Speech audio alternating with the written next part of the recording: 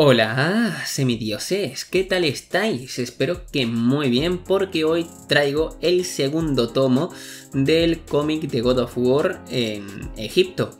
Ya sabéis que el primero lo tenéis ahí abajo en la descripción, narrado, eh, que creo que está bastante bien, además ha apoyado bastante.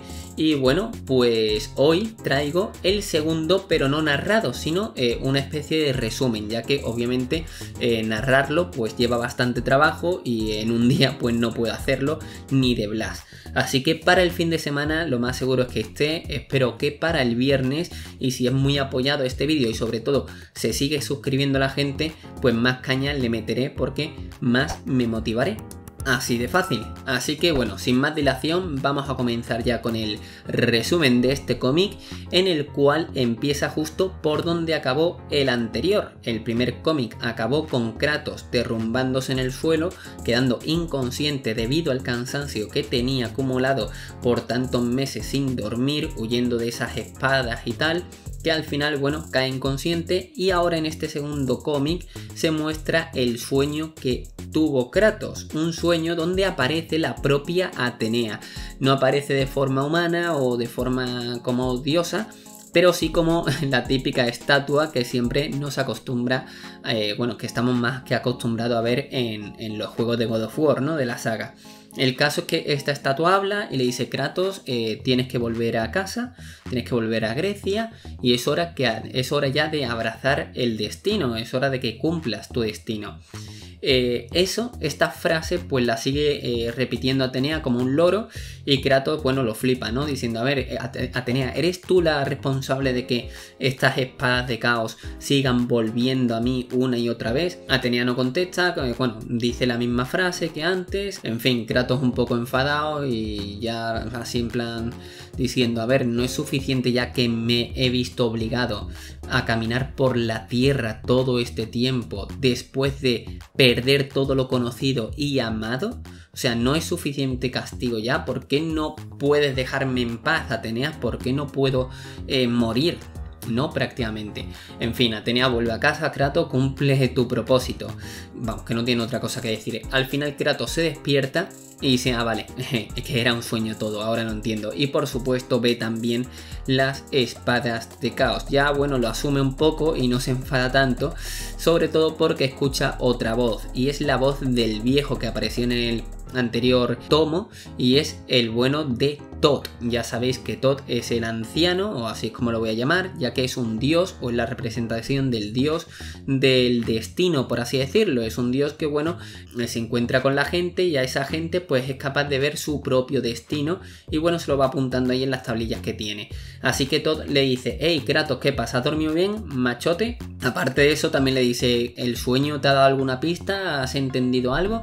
Eh, y Kratos pues le dice que no, que solo, solo sabe que está maldito y punto. Al final, Kratos se vuelve a desprender de las espadas, las lanza de nuevo y dice al, diablo con las espadas. Contigo también, viejo. Y también ya de paso con todo el destino y su prima. Me cago en Panini. Parafraseando, ¿vale?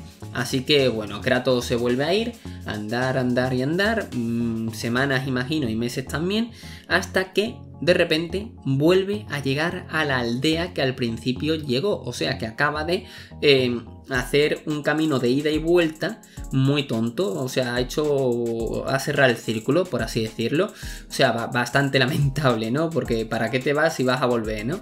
Pero bueno, entonces Kratos se vuelve a encontrar con ese ciudadano gritando, otra vez asustado. Kratos lo flipa, siguen asustados de mí, ¿cómo no?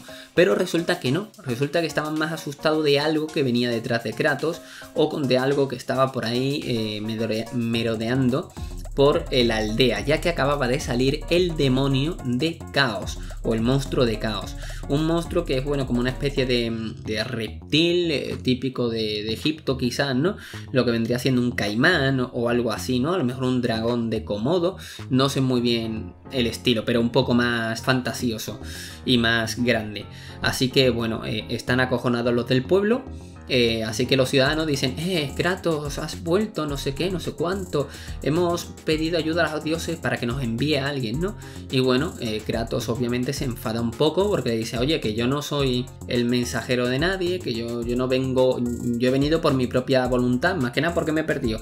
Pero eh, yo vengo por mi propia voluntad, no porque los dioses tal, a que a mí no me controla nadie, ni los dioses, ni el destino, y que además estoy harto de escuchar ya a todo el mundo, haz esto Kratos, haz lo otro, haz no sé qué, que yo tomo mis propias acciones.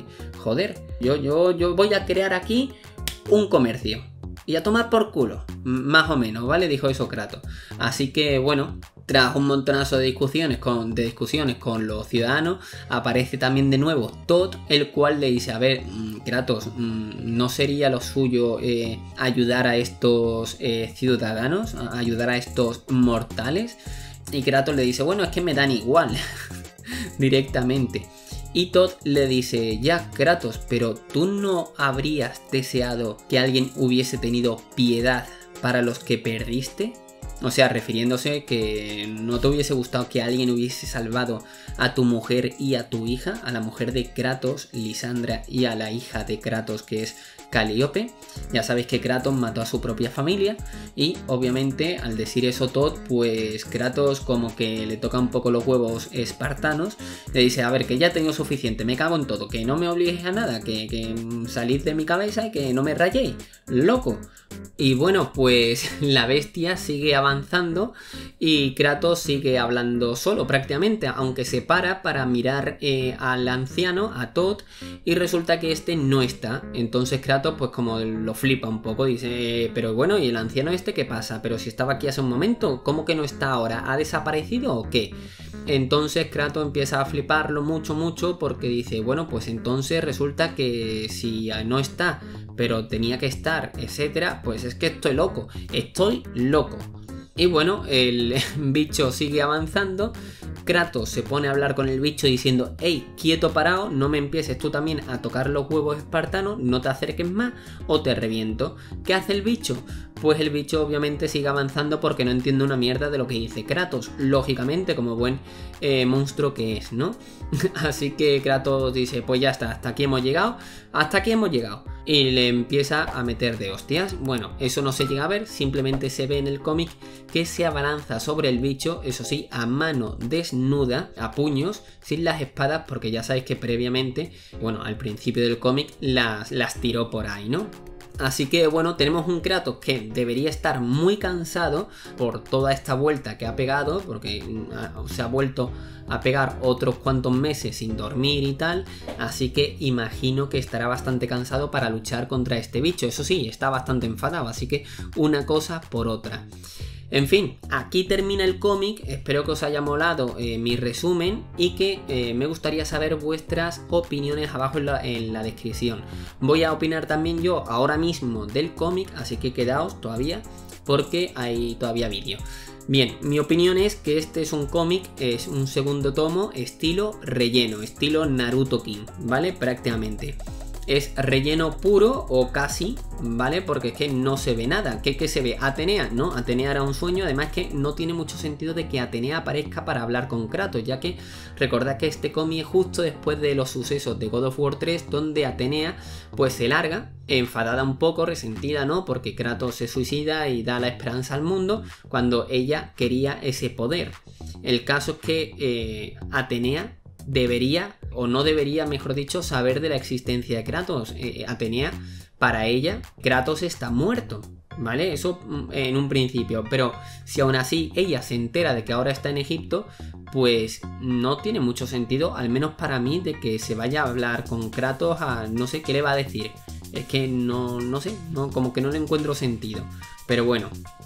Entonces Atenea un sueño, eh, que sigue molestando a Kratos con el tema del destino, quizás este Todd, que ya sabes que es un dios, pues sea el jefe final del cómic, o quizás no, simplemente a lo mejor, eh, yo qué sé, ya se verá.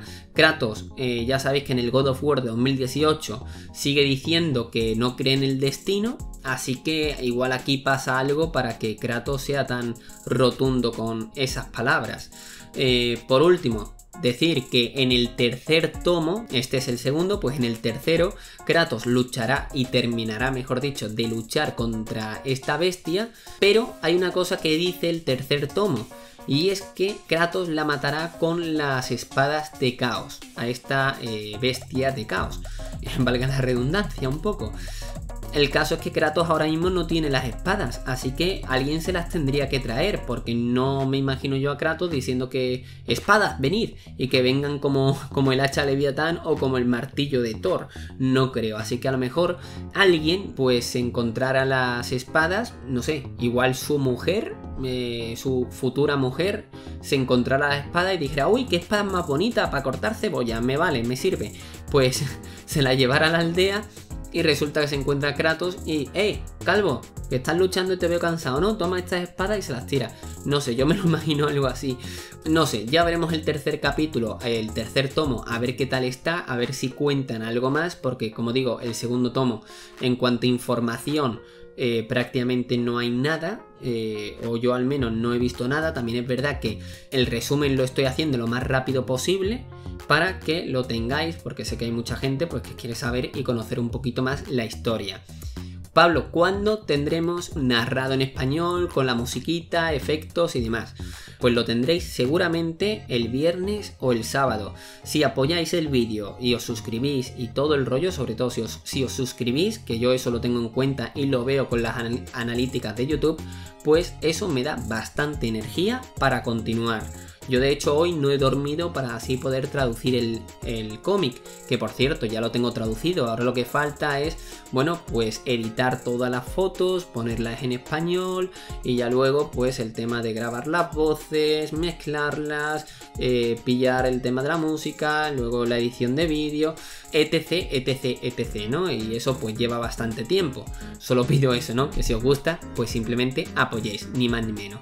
En fin, dejadme en los comentarios qué opináis sobre este segundo eh, tomo y que os gustaría también que pasara en el futuro y que de momento hay cuatro tomos confirmados, a lo mejor hay un quinto, ojalá. El cuarto es como Kratos desatado, así que no sé, ya veremos qué pasa. En fin, muchas gracias por verlo, un saludo y hasta más ver. Adiós.